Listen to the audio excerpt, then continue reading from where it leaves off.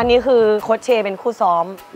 ทุกวันเตะเองเตะจริงด้วย โอ้โหคือพูดง่ายๆถ้าไม่เก่งก็คือกลับบ้านไปเลย ใช้ชีวิตด้วยการซ้อมเตะก็ซ้อมอยู่หนัๆก็ไปติวิ่งขึ้นดอยขึ้นอะไรก็เหมือนคนอื่นเขาหมด แล้วมันไม่ไม่ไม่มีผลต่อการใช้ชีวิตตอนนั้น มีก็เจ็บไงก็เดินกระเพกตลอด ตอนนั้นมีอาการเอ็นข้อเท้าขาดเลยเหรอ ขาดค่ะ ฝ่าเท้าก็ขาด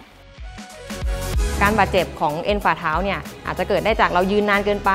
นั่งนานเกินไป รวมไปถึงในนักกีฬาที่เป็นกลุ่มนักกีฬาการต่อสู้ที่มีแรงประทะต่างๆนะคะ เมื่อเวลาเราใช้การเคลื่อนไหวข้อเท้ามากขึ้นเรื่อยๆเนี่ยแรงตึงของตัวเอ็นฝ่าเท้าเนี่ยก็จะเพิ่มขึ้น แล้วก็บวกกับการมีแรงกระแทกเข้าไปเรื่อยๆทำให้ตัวเอ็นเนี่ยมีการอักเสบจนเกิดการฉีกขาดได้ ต้องบอกว่าคือวิวไม่เคยฝันถึงโอลิมปิก มันเป็นสิ่งที่พิสูจน์ว่าถ้าเราตั้งใจทำอะไรจริงๆอะ